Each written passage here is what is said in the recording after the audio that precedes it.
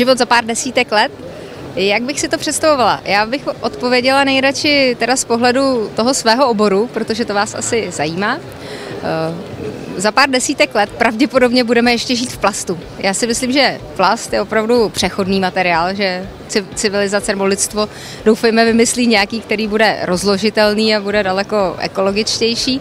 Nicméně eh, v plastu budeme muset ještě pár desítek let vydržet a doufám, že si s tím poradíme, že si neporadí plast s námi.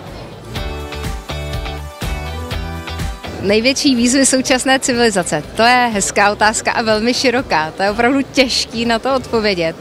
Eh, dneska jsme viděli spousta různých výzev, co se týče technologií a vlastně eh, osobního soukromí, práce s daty a tak dále.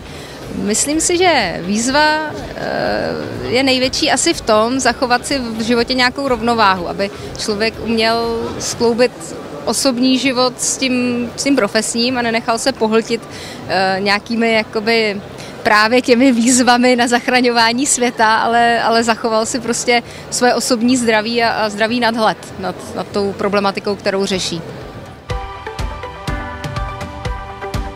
Nejdůležitější dovednosti, eh, které se v budoucnu budou hodit, si myslím, že jednak mm, získávání ze zpráv ty potřebné informace, prostě vyznat se v tom, co je pro mě důležité a vůbec eh, vlastně se k těm zprávám nějak relevantně dostat a kriticky vyhodnotit. To si myslím, že mnoho lidí úplně vlastně nedělá, ačkoliv eh, li, lidé, kteří mají přístup k internetu, si to vůbec nedokážou představit.